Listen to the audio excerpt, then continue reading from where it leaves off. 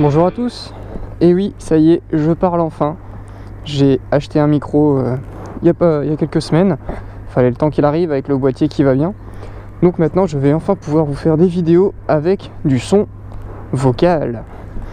Donc vous voyez, aujourd'hui, bah, j'ai pas la Tiger Explorer, puisqu'en fait, elle est en, elle est en réparation, puisqu'elle a un petit souci de boîte de vitesse. Elle fait du, de temps en temps, elle passe du troisième au neutral au rétrogradage. C'est un peu dangereux. Vous allez le voir, là, je vais vous mettre un petit extrait euh, de ma balade euh, pour aller au boulot d'il y a deux semaines où il faisait euh, moins 2, moins 3. Donc c'était pas mal gelé. Et, bah, c'est vrai que c'était un peu dangereux, surtout dans les virages en fait. Parce que là, tu rétrogrades et puis tu fais un neutral. Et là, bah, tu flippes.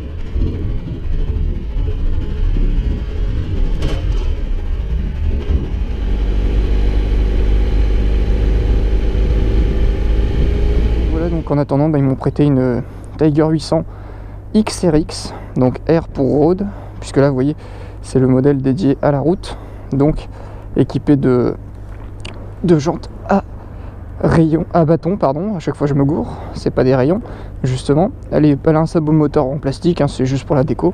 C'est vraiment une moto qui est pensée pour la route, donc elle est euh, très très légère. Euh, ça m'a impressionné là, surtout venant de la, de la 1200 elle est à peine plus lourde en fait qu'un VR6 ou qu'un ER6. C'est un moteur donc 3 cylindres de 800 cm3 qui est euh, franchement euh, très coupleux. La boîte de vitesse c'est la même boîte de vitesse que sur la Daytona. Donc on est sur une boîte de vitesse qui est très très douce.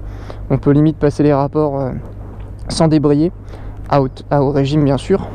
la suspension fait très bien son travail, mais on sent que c'est vraiment une suspension qui est pensée pour la route avec un réglage assez dur mais en même temps confortable, donc suffisant pour la route. Pareil au niveau du débattement, on a quand même un grand débattement, c'est ce qui fait le confort de, ces, de cette catégorie des trails routiers. On va retrouver euh, la Tracer, la Versys, la Versys 1000, euh, la Ducati Multistrada, etc. Toutes ces motos euh, pensées pour la route, mais en même temps pour le confort, pour les grands voyageurs. après, bon, on va retrouver une bulle qui est plutôt protectrice jusqu'à 90 km/h. Au-delà, elle sert plus à grand chose, clairement. On sent bien la, on sent bien le vent. Elle est équipée donc de, de pare-main, ça c'est toujours efficace. Là, elle n'a pas de série les, poignées chauffantes, mais elle possède le régulateur de vitesse, l'ordinateur de bord, le système. On va allumer. Donc elle a le système qui vous permet de régler le, le type de cartographie moteur. Donc là, off-road, rider c'est un mode personnalisé. Et après, donc vous avez le, le mode road euh, qui permet comme ça de, pouvoir rouler euh, avec une réponse des gaz différente en fait à chaque fois. Pareil pour le traction control qui va euh, s'activer ou se désactiver différemment. Donc le mode off-road, l'ABS arrière est désactivé et le traction control est beaucoup plus léger pour pas vous embêter quand, vous, quand vous roulez dans la terre et ce genre de choses. Voilà donc bah, ça c'était pour le petit tour du propriétaire. Maintenant bah, on va aller rouler un petit peu avec. Bon, le bruit assez sympa. Hein. Ça fait un petit bruit euh, sympathique. Maintenant, on est parti. Allez. Oh la vache. Ça me fait toujours autant bizarre. Elle est super légère par rapport à mon ma moto obèse. Hein.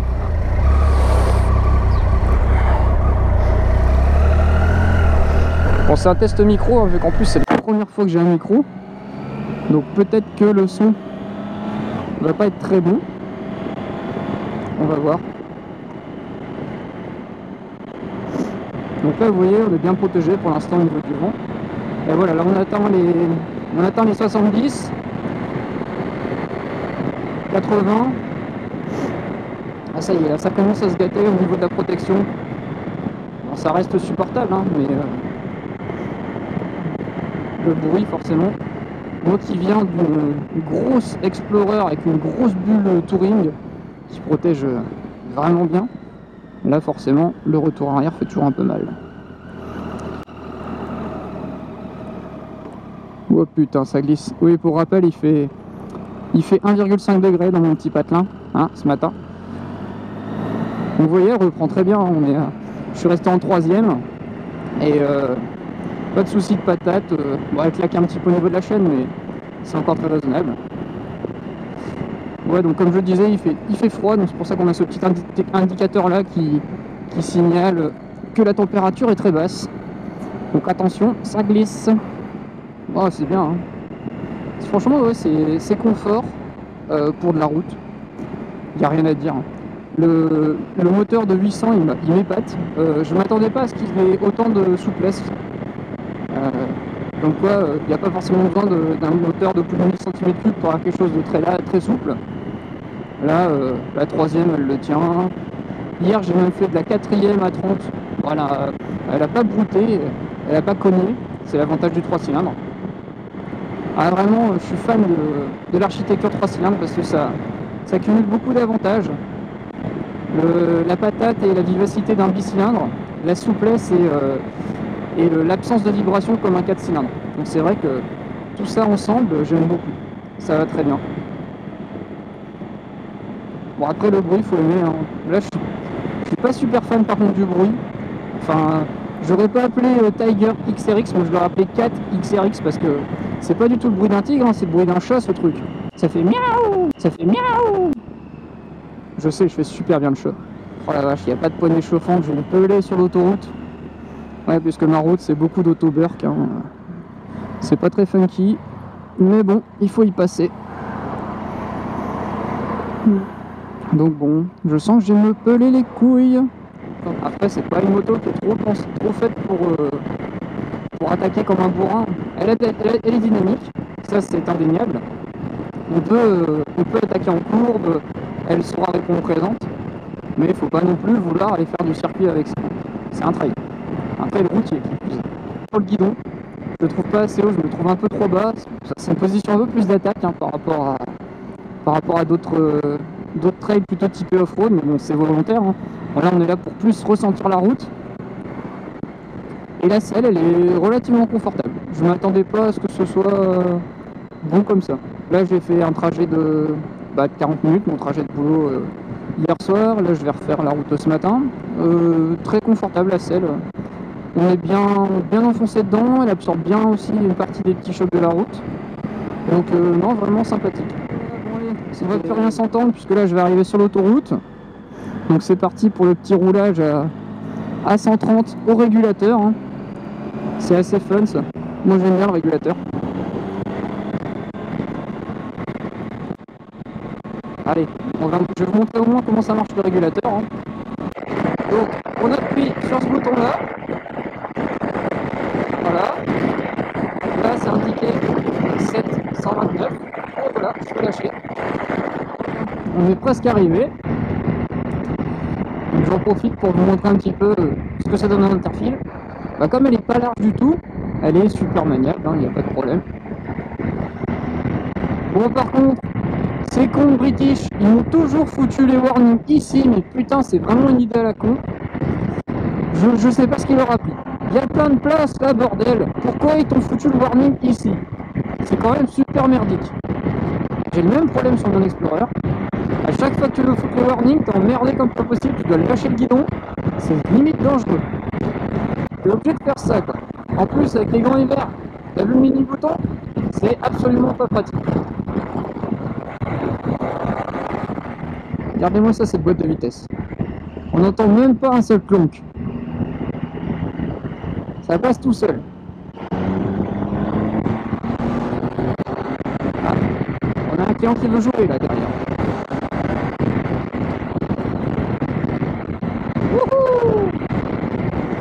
Euh, au niveau consommation, bah, elle est... on voit que c'est un 800 déjà. Elle consomme pas beaucoup par rapport à ma 1200. sur autoroute, par contre, chose assez étonnante, bah, comme elle doit monter plus haut en régime pour euh, avoir la vitesse de 130 km/h, là par contre, elle a tendance à consommer euh, environ un litre de plus que ma 1200. Par contre, euh, sur les petites routes, là, euh, je me fais battre à plat de couture, c'est elle qui consomme un litre de moins. Donc, vous faites beaucoup de nationales, de villes, des choses comme ça, des trucs où il faut pas monter trop à 130. elle est, c'est un chameau, vraiment. Le réservoir en plus fait bonne contenance.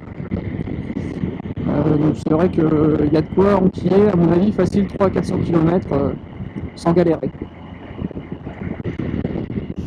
Euh, autre point, bah, le freinage. Le freinage est... Ça freine bien. l'arrière, euh, il freine bien. L'ABS, bon voilà, il s'est déclenché parce que j'ai appuyé comme un goré. Euh, l'avant il freine bien. c'est, grâce aussi à mon avis au poids de la moto. Comme elle est assez légère, ça, participe vraiment au, au fait que ce soit un châssis très sain et très efficace. Allez, un petit 0 à 100.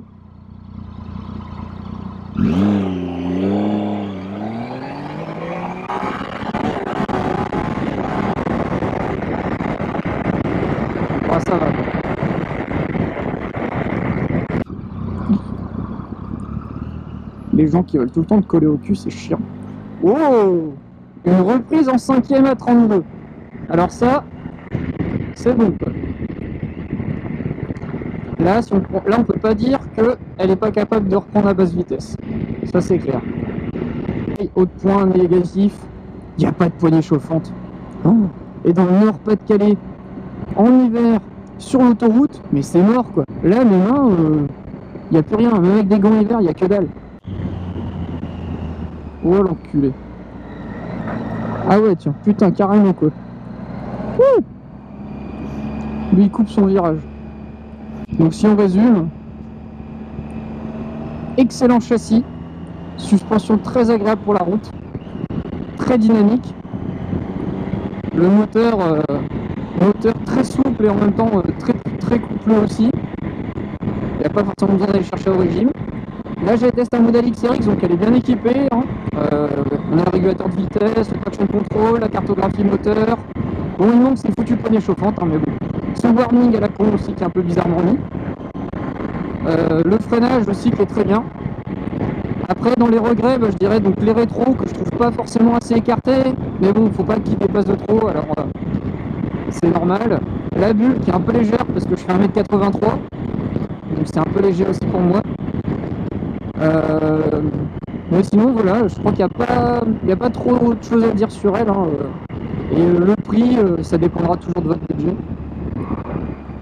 Euh, je, vous mettrai le tarif là en bas parce que je ne sais plus combien elle vaut celle-là que je teste, mais bon c'est sûr que elle n'est pas aussi compétitive qu'une traceur en tarif, mais elle est aussi un peu plus équipée qu'une traceur. On peut pas tout avoir. Voilà, sur ce, je vais vous laisser. Je suis arrivé. J'espère que ce petit essai de la Tiger XRX vous aura plu.